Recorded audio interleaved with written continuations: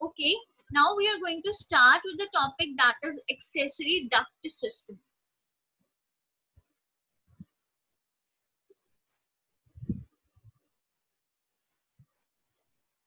But before that, let us see, let us totally see that what is the female uh, reproductive system. Basically, female reproductive system consists of the two ovaries, two ovaries, one uterus, two fallopian tubes.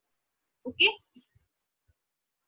Now you see, you can see that these are the ovaries in real. हमारी ovaries ऐसी दिखती हैं. These are the ovaries. This is the fallopian tube. And this is the uterus uterus से fallopian tubes ऐसे connected होती हैं this is the fimbriae fimbriae मतलब finger like projections of the ovaries okay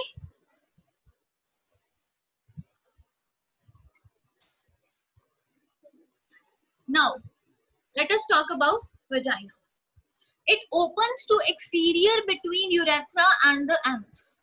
See it is a, three, a third opening basically the second middlemost opening that is present between the urethra and urethra and the anus. The lumen of vagina is lined by glycogen rich mucous membrane consisting of sensitive papillae and bartholin's gland bartholin glands is very important for you as it is present it is present at the lumen of the vagina the secretions of the Bartholin's gland lubricate the penis during sexual act. That Bartholin gland is the one that is responsible for the lubrication of the vagina during sexual intercourse. Okay? There are three openings present basically. The first one is the urethra, second one is the vagina, and the third one is the anus lumen of vagina is lined by glycogen rich mucous membrane mucous membrane होती है उसके बाहर sensitive papillae बहुत ज्यादा sensitive papillae होते हैं even sensitive to touch and the Bartholin's gland okay Bartholin's gland is the one gland that is responsible for the lubrication of vagina. Then,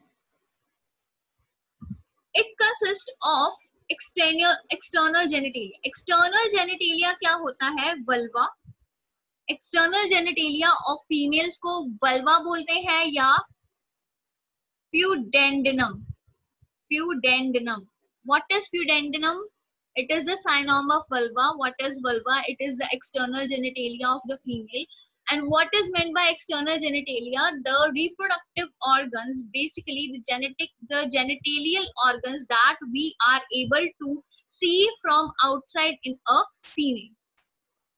Now, you can see there are three openings. The first one is the urethral opening. The second one is the vagina. And the third one is the anal opening. External genitalia consist of the mons pubis. Mons pubis is a fatty cushion, fatty layer that is present over in the upper part of the female genitalia. It is cushion of fatty tissue and there are hair present upon the mons pubis. Then is vestibule. Vestibule a median channel vestibule के parts बहुत important है। They consist of the labia majora and labia minora labia majora and labia minora are the lips that are present in the vagina and they are present for the protection of the vagina from external environmental infection और external surroundings labia majora क्या है? Labia majora is a skinny cushion fatty layer ठीक है? इस पे further इस पे भी हेयरी हेयरी ग्रोथ होती है, ठीक है? It surrounds the vaginal opening and उसके बाद small thin and hairless inner folds these are thin. Labia minora, labia majora are thick skin folds. Labia minora are thin skin fold, ठीक है? Can you see this let me show you once again this part is the mons pubis this part is the clitorius then comes the urethral opening then comes the outer part ये जो ये जो आपको ये दिख रहा है that is the outer part this is the labia majora this one is the labia minora labia majora comparative to minora वो क्या होता है थिक होता है एंड हेयरी कुशन उसमें भी हेयर्स प्रेजेंट होते हैं क्यों प्रेजेंट होते हैं to trap the any you know कोई इंसेक्ट है या फिर कोई भी बैक्टीरियल इन्फेक्शन है, कोई भी चीज़ है फॉरेन सब्सटेंस एंटर ना कर पाए उसके लिए। हेयर्स जो होते हैं, वो प्रेजेंट होते हैं for the protection of the vaginal opening then comes the vagina and then is the last opening, that is anus okay?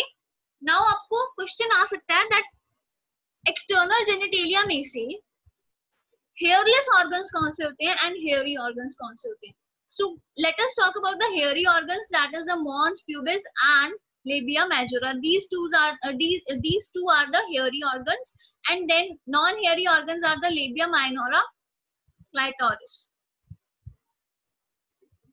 okay vestibule होता क्या है basically vestibule is the uh, median channel. Then is hymen. What is hymen? Hymen is also known as maiden head. Maiden head. It is, you know, कई बार question आता what is maiden head? Why is it is why is it important?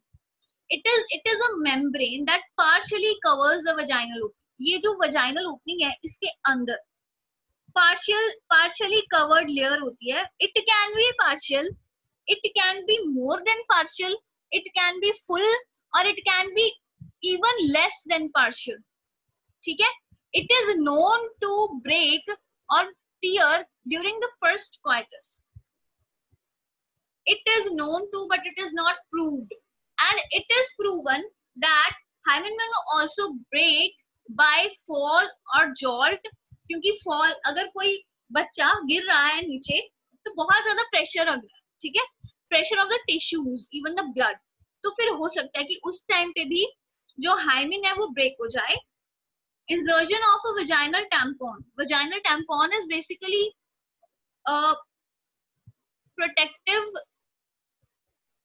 protective accessory that is used in menstruation by women to pre uh, to prevent the leakage active participation in some sports sports पे क्या होता है? अगर हम sports, अगर कोई भी लड़की स्पोर्ट्स में काम कर रही है, स्पोर्ट्स में बहुत ज़्यादा एक्टिव है तो बहुत ज़्यादा फिजिकली एक्टिव रनिंग करने की वजह से